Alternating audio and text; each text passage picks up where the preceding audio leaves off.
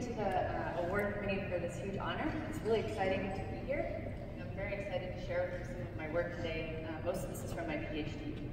Um, so I'm going to talk about cleaner shrimp, but actually let's start with something sort of different than that, which is this guy here.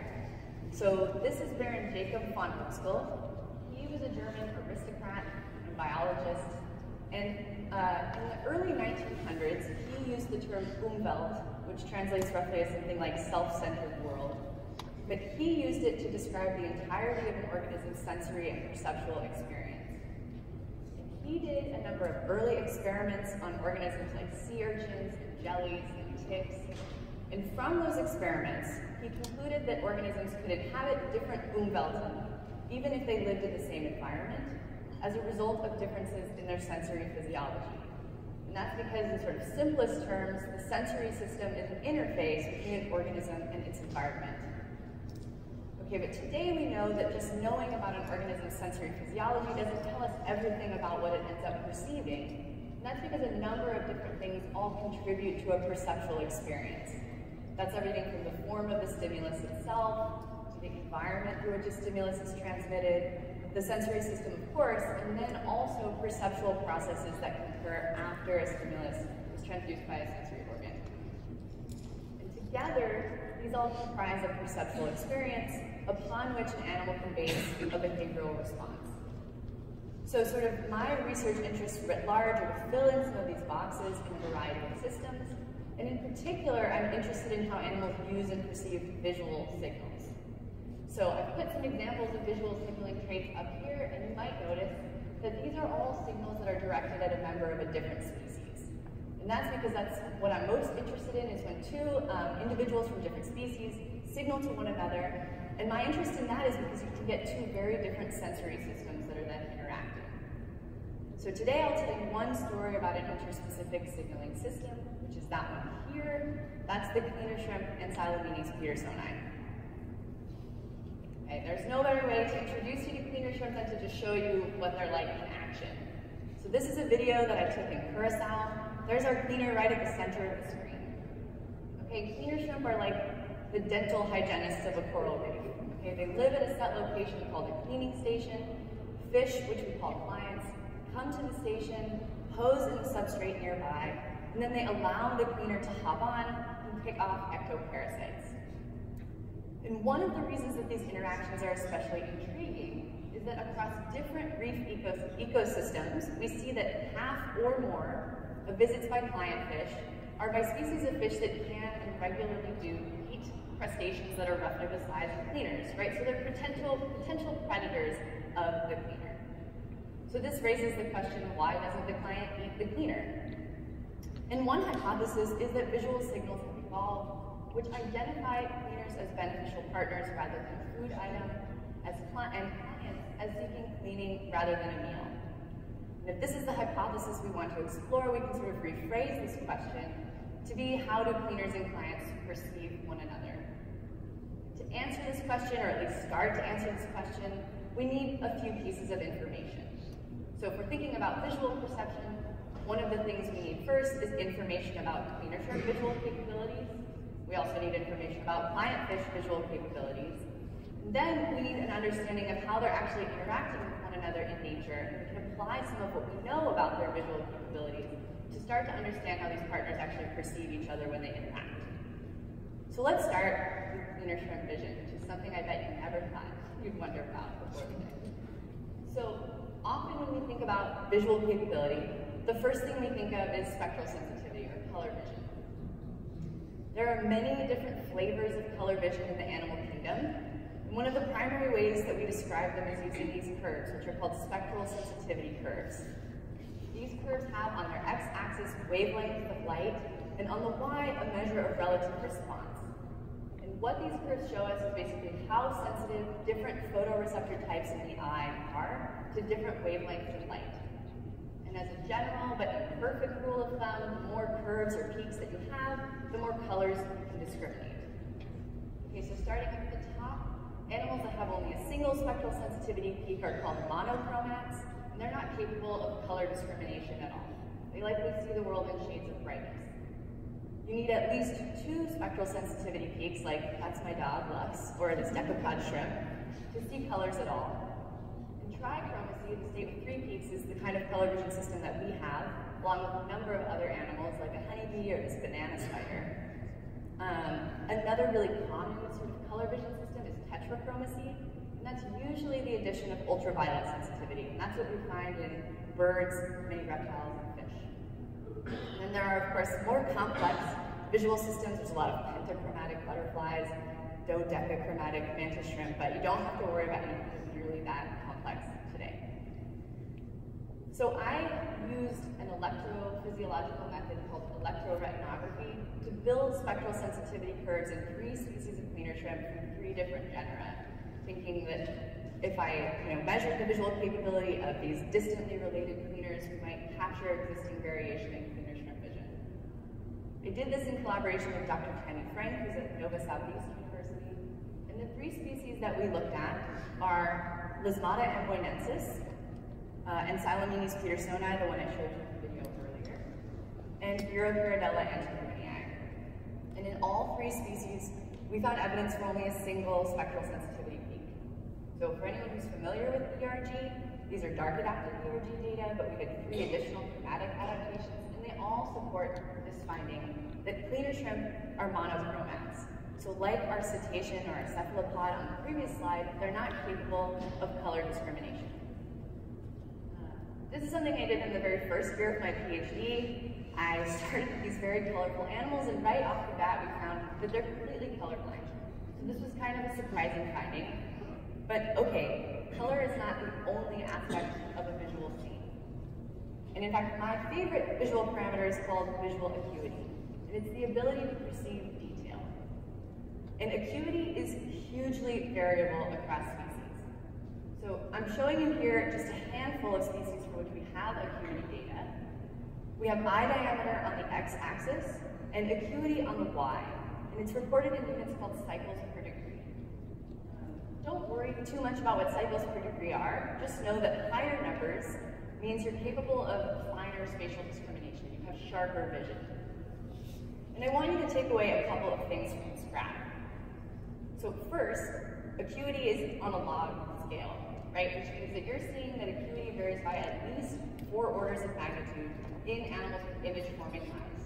So it really is highly variable. Second, you'll notice a strong and positive relationship between acuity and eye size. So we tend to see sharper vision in animals bigger eyes. Because of the tight correlations between eye and body size, that means we tend to see sharp vision in larger animals. Uh, all those animals in red have compound eyes. because of their optics, compound eyes are always going to be acuity limited. We do see them fall out at the lower end of the acuity spectrum. And then lastly, I'll just point out, here's humans, right, up at nearly the very top. And this should be incredibly exciting to everyone room because we as humans are not the pinnacle of just about any sensory modality out there. but here we are with some of the finest spatial vision in the animal but I would also say that in addition to being very exciting, this should be a little bit of a cause for pause, because this means that any of us who study any kind of visually guided behavior need to think about the fact that our study organism very likely does not perceive detail in the same way that we do. And in fact, these differences in acuity could have really large impacts on the amount of spatial information that an animal can extract from a given scene. So you're going to see a few images like this throughout the talk, so I'll just orient you to them now These were made with an R package that I wrote called Acuity View. And all that Acuity View does is take information about uh, the acuity of the viewer, the real size of an image, and the distance to the viewer, and it just deletes spatial frequencies that should be unresolvable by a given time. But the primary caveat here, which I really can't overemphasize enough, is that these don't really show us what the animal actually sees, right? Because a number of things can come into play, like motion or contrast enhancement edge detection, post-processing of an image that can sharpen the end image. But what these do show us is what spatial information ought to make it past the photoreceptor array and even be present for brain to post-process. So this is the Julia Child replica kitchen at the Smithsonian as it might appear to four different kitchen inhabitants. And you can see that, yeah, across those four orders of magnitude of acuity, there's likely large differences in how they perceive spatial detail. So we can measure uh, acuity in a couple of different ways, behaviorally and morphologically. I did that in our same three species of cleaner shrimp, um, and I found in all three of them that their acuity was about 0.1 cycles per degree, so roughly on par with our housefly. Okay, so let's recap. Um, I should admit that I started my PhD research thinking I was going to study interspecific color signaling in cleaner shrimp, and right off the bat we found that they are totally colorblind, and their acuity is actually incredibly low. so remembering that this is a little unfair to our pork because this is a static image, right? But even so, that's acuity view from only a distance of two centimeters. Um, so this is where I just want to, I just want to, let's talk about von Uexküll again, right? He's sort of my touchstone throughout this talk. Some of you might be familiar with, he made a famous assertion um, that the umwelt of a tick comprises only the smell of butyric acid emanating from a mammal and the temperature of mammalian blood. Okay, that's probably an oversimplification. But to me, what that assertion reminds us of is that animal umwelts don't necessarily need to be very complex nor do they need to be very much like our own in order to be perfectly functional for the animal in question. And so although our cleaner shrimp might appear to have relatively useless visual systems, we'll hold on to this idea of the cleaner shrimp umwelt and come back to it in just a few minutes as we think about what might be the relevant portions of their perceptual world as they're interacting with clients. Speaking of clients, although I have a love for cleaner shrimp, they are the other half of our story. So the work that I've done on client fish vision um, in terms of color vision was really led by Dr. Lori Schweikert, who's at Florida International University. We used a literature synthesis approach. There's loads of data on fish vision because they have famously variable visual systems. So we synthesized data from 213 species of ray-finned fish, and from a number of ecological predictors, we found, and this is not an algo result, we're not the first to show this, that chromacy, or the number of spectral sensitivity have as a fish is most closely predicted by the depth at which you live. And for the purposes of today's story, most of those client fish that we're thinking about would be shallow reef-associated species. Species at that depth tend to be tri, tetra, or pentachromatic. So today, just to keep things as simple as possible, we'll assume that any fish that serves as a client can see color as well as we can, or perhaps even discriminate more colors than we can.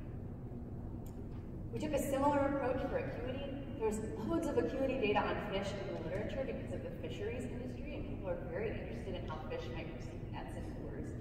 So we synthesized those data together. We got um, data on 159 species of fish, and found that acuity in fish ranges from about 1 to 35 cycles per degree.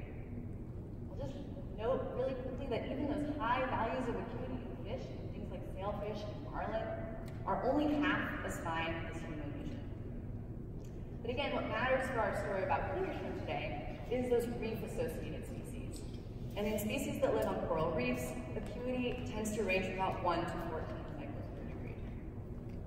So to recap so far, we found that cleaner shrimp have monochromatic, low-resolution vision, and client fish have good color vision and acuity that's at least an order of magnitude. So let's take some of this information about vision, talk a little bit about how these animals actually interact with nature, and see what we can learn about how they perceive one another. Okay, so I will show you a video of the same cleaner shrimp species that I showed you earlier, Ancylomenes pedersoni. This is a Caribbean species, and the reason that I started my research with this species is because when they interact with there's already a lot of literature out there suggesting that there are a couple of behaviors that might serve as signals.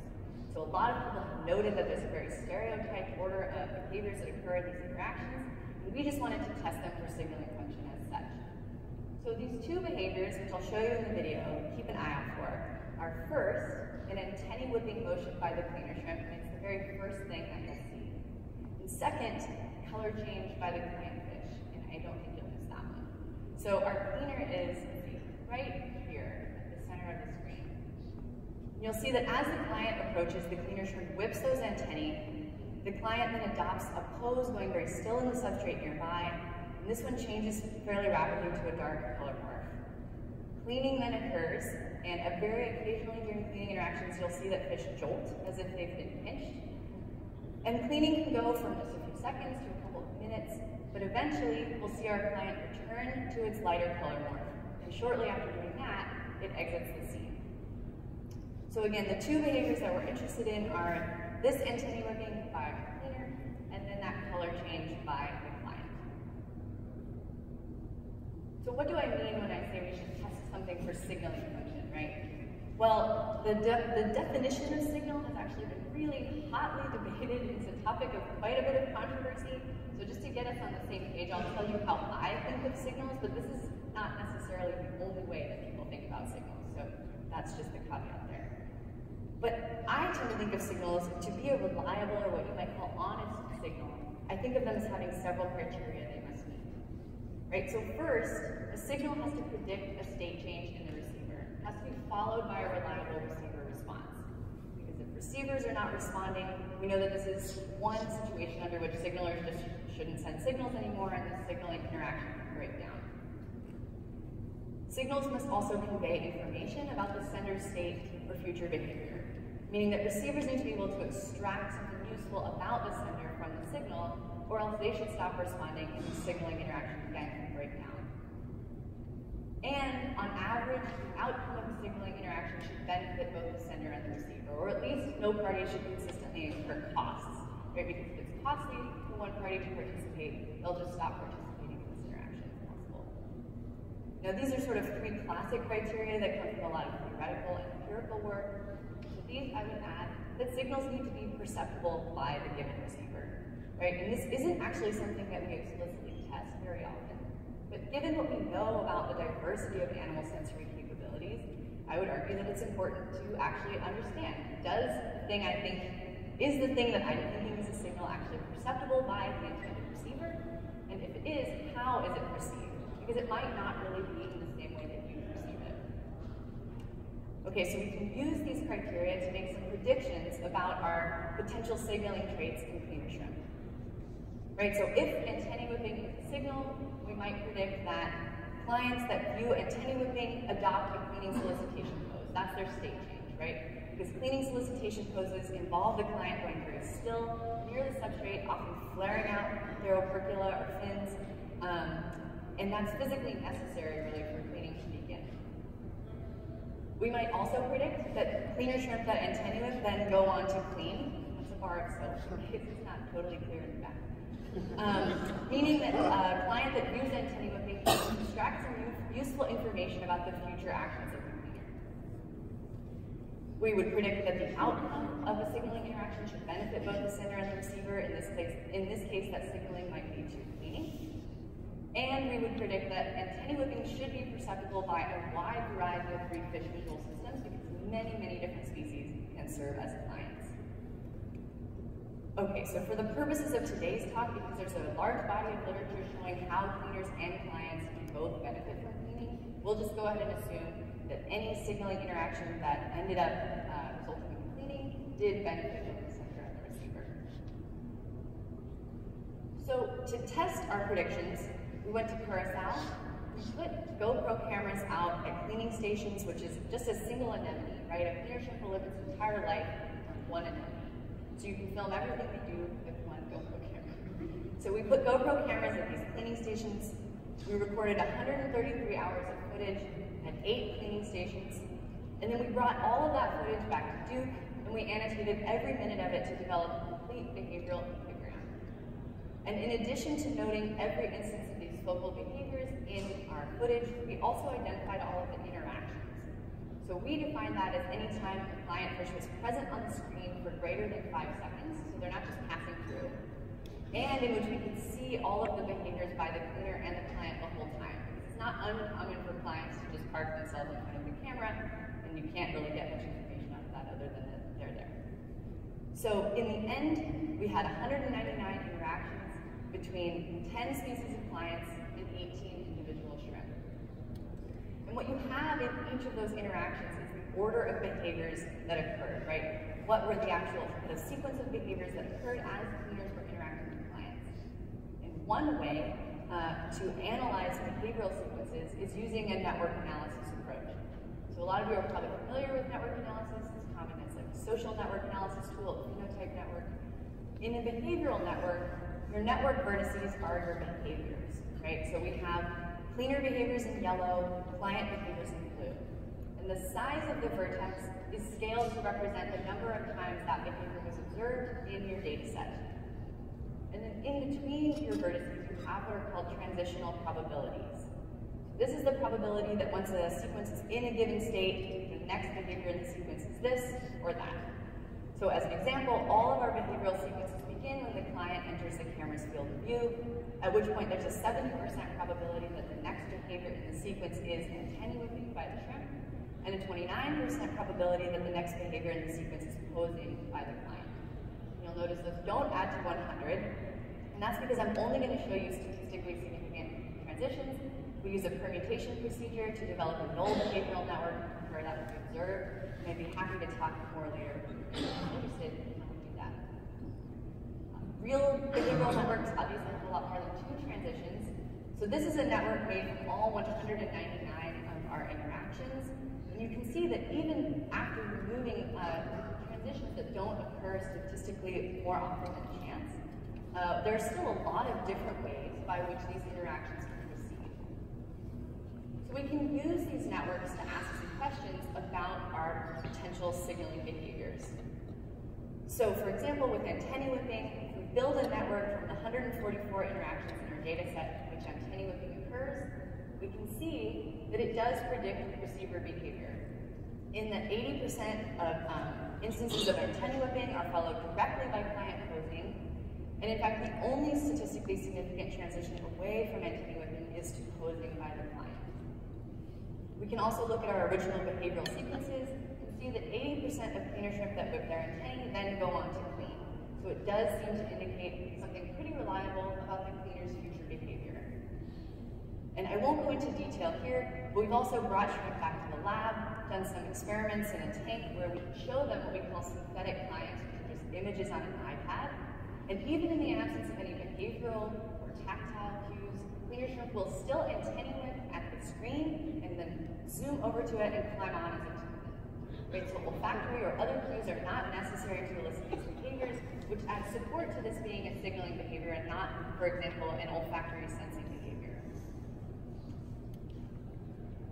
Um, with regards to our perception criterion, we made these acuity view movies, which hopefully will build this functionality into the package soon, so stay tuned. But this is using um, acuity data on the reef, which is the highest and the lowest known acuity, and from a viewing distance of 30 centimeters, which is actually about twice as far as these interactions. Uh, but what you can see is that even for the reef fish with the lowest visual acuity we know of, antennae whipping ought to be perfectly resolvable by that receiver. Okay, so we have seen from our networks that antennae whipping is reliably followed by a, a stereotyped response in the receiver. It does seem to indicate something about the sender's future behavior, and it's at least resolvable by a variety of client vision tool systems. So what about that color change behavior that I showed you in the video earlier, right? Is that some kind of signal as well? Well, rather than walk you through the same network analysis approach that I've just shown you, I'll instead just kind of summarize our results, which are that there are two different pathways by which cleaning can occur. The first is the one I just told you about, right? Which is that when the client arrives, about 80% of the time, the cleaner whips its antennae, signaling it intends 80% of the time that that happens, the client poses saying, okay. And 70% of the time that that happens, cleaning does occur. And we do see clients change color in this pathway just at variable points in time, but very often before cleaning begins.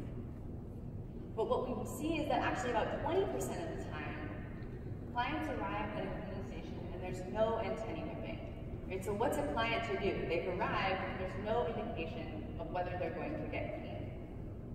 So at this point in time, we see that about 5% of clients just leave. Maybe they go to a different cleaning station. About 35% of clients adopt that clean solicitation pose, but they don't change color. And about 60% of clients adopt the cleaning solicitation pose and then change to their darker color morph. For those fish that pose but do not color change, they have only about a 15% chance at that point in time of getting clean. Whereas the clients that do adopt a darker color morph more than triple their chances of getting clean to 50%. So this kind of suggests that color change by clients might be a signal by which they can indicate, no, I'm really here for cleaning, or I'm not a threat, or something like that. We have a lot of work left to do to understand this color change behavior. Now you might be saying, that's but I spent the first 10 minutes of my talk telling you that cleaner shrimp have monochromatic, low resolution vision, right? So what use is a color change signal? And this is again the final time we'll sort of channel von Uexküll and remember that monochromatic low resolution vision is not useless vision. And if we think about the form of the signal, clients arriving large, this color change doesn't involve any fine spatial detail, it's at a very close viewing distance, and also what we perceive as a color change is very consistently across reef fish species, a change from light to dark. So I've been showing you goatfish because they're beautiful clients that turn to this gorgeous dark red color, but we see fish like surgeonfish and tangs show up in light blue coloration and turn nearly black. Or other fish will adopt thick black bars. It's always a change from light to dark. And that's something that ought to be very perceptible by a monochromatic visual system.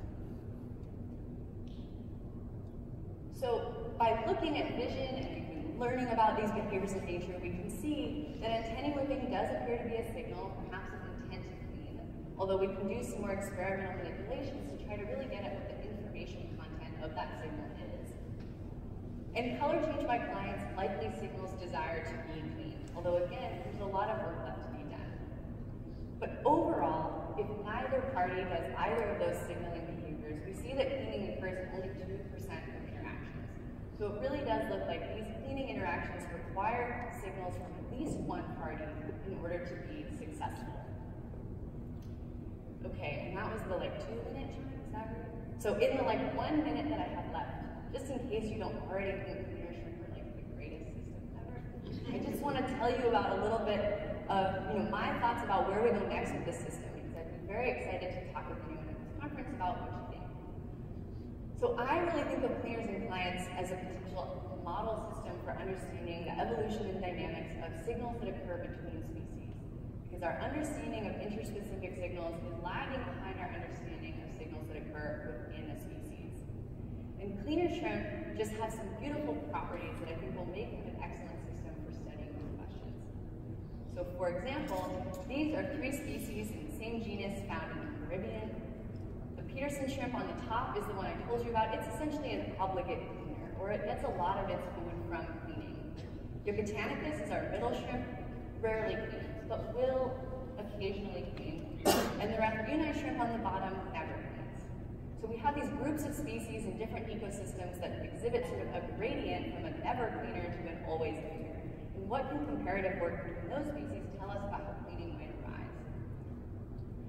There's also intriguing hints of like convergence in signal form between cleaner genera around the globe in that most cleaner shrimp species have white body parts that they wave around in the presence of clients. And we don't see the same thing in, non, in related non-cleaners. Right, so these white body parts, are they all serving as signaling traits? There's a lot of work to be done there and highly understudied, you know, the majority of decapod crustaceans we don't even have good photos of. Um, but if they are all signaling traits, that opens up of sensory ecology questions about why white signaling traits, right? Why would this be the signal form that cleaner shrimp are hitting on to communicate with clients? And then lastly, regardless of which ecosystem, which reef I visit around the globe, you see that dozens of different reef fish all serve as clients.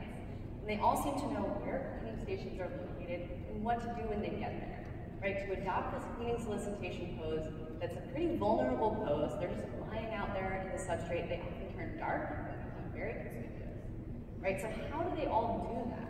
How do they all know? Are these learned behaviors? And who must they learn from if they are? And if they aren't learned behaviors, are they genetically controlled? We really don't know anything about how mutualistic behaviors arise in individuals on either the cleaner or the client side. And so please come and find me. I know it's the last day of the, of the conference, but I'd love to talk with anyone who's interested in these ideas um, about whatever you think about them.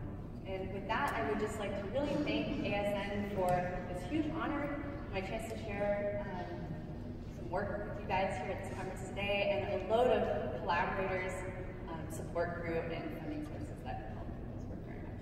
So thank you very much.